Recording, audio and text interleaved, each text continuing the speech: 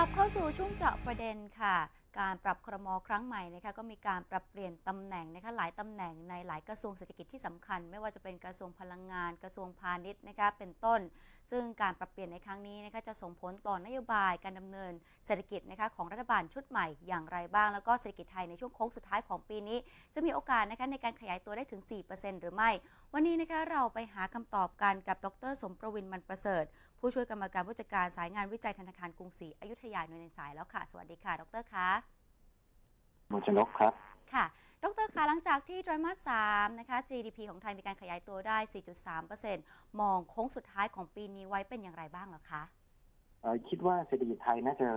อยู่ในช่วงขาเดินขึ้นบันไดนะครับค่ะเอ่อจริงๆแล้วเราจะพบว่าตัวเลขที่ออกมาเนี่ยก็เอ่อดีกว่าเอ่อ ทุก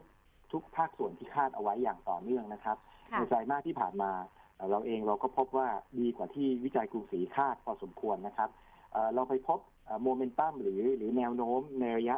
ต่อไตรมาสเนี่ยก็พบว่าแรงขับเคลื่อนเศรษฐกิจยังเกิดขึ้นอย่างต่อเนื่องนะครับเอ่อเรายังคิดว่าในไตรมาสสุดท้ายของปีนี้เนี่ยน่าจะเห็นตัวเลขที่ค่อนข้างดีเลยครับ เนื่องจากปีที่แล้วมีเรื่องฐานต่ำด้วย แล้วในปัจจุบันนี้เศรษฐกิจไทยก็ฟื้นตัวอย่างชัดเจนได้มากขึ้น เพราะฉะนั้น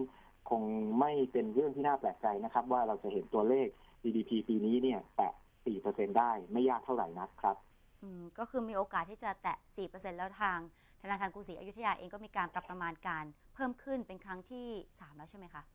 ถูกต้องครับเอออย่างที่เรียนนะครับก็คือว่ามันเอ่อตัวเลขที่ออกมาเนี่ยเซอร์ไพรส์เราทุกครั้งนะครับ และคราวนี้เป็นครั้งเอ่อสุดท้ายนะครับที่เราปรับการประมาณการขึ้นนะครับ เราก็ปรับจาก 3.8 มาเป็น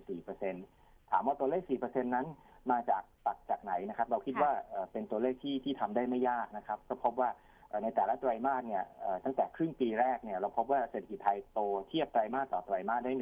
1.3%ในไตรมาสที่ 3 เนี่ยโตได้อ่า1%เพราะฉะนั้นถ้าทำตัวเลขง่ายๆนะครับ ว่าเอ่อเอ่อในไตรมาสที่ 4 เนี่ยโตได้แค่ 0.8%ไตรมาสต่อไตรมาสเนี่ยก็ทำให้ตัวเลขแตะได้4%แล้ว เพราะฉะนั้นเอ่อมองไปข้างหน้าเนี่ยเราก็ยังพบว่า เอ่อเศรษฐกิจไทยเนี่ยถูกฉุดขึ้นจากการส่งออกเป็นสำคัญนะครับเอ่อเศรษฐกิจโลกเริ่มฟื้นตัว IMF เองมีการปรับการประมาณการเศรษฐกิจโลกเพิ่มขึ้นด้วย เพราะฉะนั้นก็เหตุผลหลาย ๆ เหตุผลมาสนับสนุนครับว่าค่ะเอ่อสัญญาณที่ดียังจะคงมีต่อครับ ค่ะ ซึ่งตัวเลขการส่งออกของไทยนะคะในช่วง 10 เดือนแรกของปีนี้ ก็ถือว่ามีการขยายตัวได้ 9.7%นะคะสูงสุดในรอบ 6 ปี แต่ถ้าเทียบกับประเทศในแถบอาเซียนอยู่ในระดับค่อนข้างต่ำเลย ตรงนี้น่ากังวลหรือเปล่าคะจริงๆ ก็เป็นทั้งเรื่องที่ดีใจได้ในระดับหนึ่งแต่ว่าก็ก็ควรจะเป็นเรื่องที่กังวลใจนะครับ แล้วก็ค่ะเราคงต้องเอ่อหยุดไม่ได้นะครับ สิ่งที่สำคัญที่สุดก็คือว่าเวลาเราเราเวลานักเศรษฐศาสตร์มองเนี่ยเรา มองปัญหาสองปัญหาซ้อนกันนะครับหนึ่งก็คือปัญหาทางวัฏจักรคือปัญหาระยะสั้นที่เกิดจากผลของภาวะเศรษฐกิจนะครับค่ะทุกวันนี้ผลของภาวะเศรษฐกิจดีขึ้นแล้วหายไปนะครับ ตัวฉุดเนี่ยมันหายไปวัฏจักรฟื้นขึ้นเพราะฉะนั้นเราแน่นอนเราส่งออกได้ดีขึ้น แต่ปัญหาที่สองที่นักเศรษฐศาสตร์มองก็คือเรื่องระยะยาวก็คือเรื่องโครงสร้างทางเศรษฐกิจนะเราก็เราก็คงทราบกันอยู่แล้วนะครับ ประเทศไทยมีมีการเสียความสามารถในการแข่งขันนะครับค่ะสินค้าบางประเภทที่เราเคยผลิตและส่งออกได้ เราก็ผลิตและส่งออกได้น้อยลง เพราะฉะนั้นมันก็สะท้อนแหละครับว่าเอ่อถึงแม้การส่งออกจะดีขึ้น แต่ก็คงจะไม่ได้ดีอย่างในอดีตที่เราจะเห็นตัวเลขโตได้ 20%เพราะฉะนั้นเอ่อสิ่งที่เราต้องระมัดระวังนะครับ ก็คือว่าถึงแม้โตแล้วนะครับเอ่อค่ะเราอย่าเราอย่าร่าเริงเกินไปกับช่วงค่ะเศรษฐกิจฟื้นอ่าสิ่งที่เราคงต้องกลับมาเตือนตัวเองอยู่เสมอคือว่าจะทำอย่างไรให้ให้ให้เราเองมีความสามารถในการแข่งแข่งขัน แล้วก็เอ่อเติบโตต่อไปได้เทียบกับคนอื่นครับ ค่ะ ซึ่งคำแนะนำจากทางธนาคารกรุงศรีอยุธยาในการที่หากไทยนั้นต้องการที่จะรักษาศักยภาพหรือว่าเพิ่มขีดความสามารถในการแข่งขันเนี่ยควรที่จะไม่ต้องมีการทำหรือว่าเตรียมรับมืออย่างไรบ้างคะในโลกยุคใหม่นี้นะครับ ประเด็นสาระสำคัญของการทำธุรกิจ หรือการขับเคลื่อนเศรษฐกิจ มีอยู่แค่สอง keyword เท่านั้นเองนะครับ อันหนึ่งก็คือว่าการใช้เทคโนโลยีนะครับอืมเอ่อเราคงใช้วัตถุดิบ แล้วก็ใช้เครื่องจักรอย่างเดียวไม่พอเครื่องจักรนั้นต้องมีเทคโนโลยีการผลิตด้วย ความหมายก็คือว่าเครื่องจักรเท่าเดิมนั่นแหละทำอย่างไรให้ผลิตได้มากขึ้นนะครับ มีมีผลิตภาพที่มากขึ้น อันที่สองคีย์เวิร์ดก็คือนวัตกรรมนะครับ เราคงใช้สินค้าเก่าไม่ได้ ใช้เครื่องมือใหม่แล้ว มี productivity ดีแล้ว เราต้องคิดสินค้าใหม่ด้วย โลกของเราทุกวันนี้นะครับ เราไม่เห็นสินค้าที่มันถูกลงนะครับ แต่ว่าเราเห็นสินค้าราคาเท่าเดิมแต่ดีขึ้น เพราะฉะนั้นการแข่งขันทางด้านราคาเนี่ยไม่ใช่ประเด็นสำคัญต่อไปในอนาคต แต่การค่ะแข่งขัน สิ่งใหม่จะเป็นประเด็นสำคัญครับ เพราะฉะนั้นการปรับตัวธุรกิจ หรือการขับเคลื่อนเศรษฐกิจในอนาคตของประเทศไทยน่าจะเป็นไปในทิศทางนั้นครับ คือใช้เทคโนโลยีและนวัตกรรมครับค่ะ อันนั้นอาจจะเป็นความกังวลในภาพระยะยาว แต่ว่าระยะสั้นกับระยะกลางเนี่ยอาจจะเป็นในเรื่องของค่าเงินบาทหรือเปล่าคะ เพราะว่าล่าสุดเองก็มีการแข่งค่าหลุดระดับ 33 บาทต่อดอลลาร์สหรัฐแล้ว แนวโน้มตรงนี้ถือว่าเป็นยังไงบ้างคะ ผมคิดว่าปัจจัยทางด้านเอ่อราคาหรือที่เกี่ยวข้องกับเอ่ออั ตราแลกเปลี่ยนเนี่ยมีผลบ้างเล็กน้อยทางพอสมควรนะครับ แต่มันก็มีงานศึกษาในในในในเชิงวิชาการก็พบว่าสาเหตุสำคัญที่กำหนดเอ่อการส่งออกเนี่ยก็คือดีมานก็คืออำนาจซื้อของผู้ซื้อมากกว่านะครับค่ะเอ่อหากเราเอ่อทราบอยู่แล้วว่าเอ่อเอ่อโลกเริ่มฟื้นแล้วนะครับ เราเราแน่นอนตรงนี้น่าจะเป็นปัจจัยที่ทำให้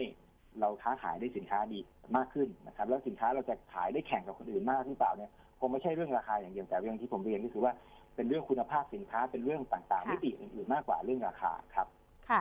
การปรับครมครั้งใหม่ซึ่งก็มีการปรับเปลี่ยนนะคะในหลายตำแหน่งในกระทรวงเศรษฐกิจที่สำคัญสำคัญ ตรงนี้ทางด้านของธนาคารกรุงศรีอยุธยา มีการประเมินไหมคะว่านโยบายเศรษฐกิจอะไรที่อาจจะเข้ามา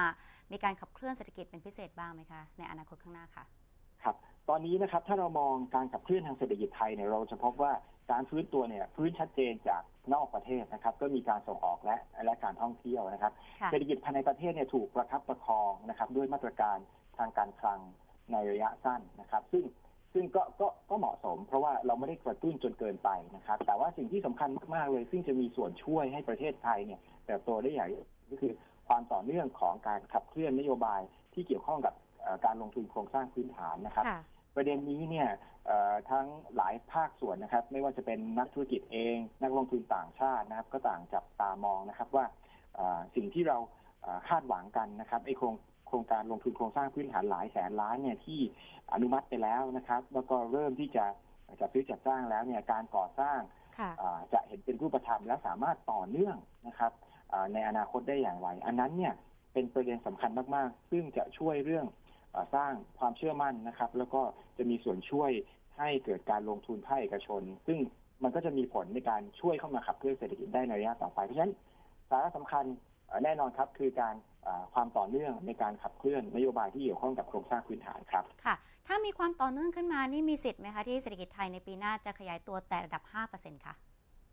เอ่อ ผมไม่แน่ใจเหมือนกัน เพราะว่ามันเป็นเรื่องระยะยาวนะครับ โครงสร้างพื้นฐานนะครับเอ่อใจผมเองผมคิดว่าถ้าประเทศไทยโตได้ในระดับอัตราประมาณ 4%เนี่ยอยู่ในระดับที่ที่โอเคแล้วในระยะสั้น แต่การลงทุนในโครงสร้างพื้นฐาน ณวันนี้เนี่ยมันเป็นการสร้างประโยชน์ให้กับประเทศในระยะยาวในอีก 10 ปีข้างหน้า 20 ปีข้างหน้า ซึ่งผมคิดว่าเราเราอาจจะไม่จำเป็นที่จะต้องเร่งในระยะสั้นมากจนเกินไปนะครับ แต่อย่างน้อยๆเนี่ยขอให้คลอดอการก่อสร้างพื้นฐานนะครับ ออกมาเรื่อยๆ แล้วท้ายที่สุดแล้วประเทศไทยผมเชื่อว่าในระยะ 10 ปี 15 ปี 20 ปีข้างหน้าเนี่ยเราอาจจะเห็นตัวเลขการเติบโตที่สูงขึ้นมากกว่าที่เป็นอยู่ในปัจจุบันก็ได้ครับ ได้ค่ะ ดรค่ะ ขอบคุณมากนะคะสำหรับข้อมูลในวันนี้ค่ะ ครับ ขอบคุณครับ สวัสดีค่ะครับสำหรับวันนี้สวัสดีค่ะทั้งหมดนี้นะคะคือรายการข่าวร้อนก่อนเทรดนะคะ รายการที่จะทำให้คุณผู้ชมนั้นไม่ตกกระแสการลงทุนค่ะ วันนี้ดิฉันกมลชนกพุกขยาพรและทีมงานทุกคนลาไปก่อน สวัสดีค่ะ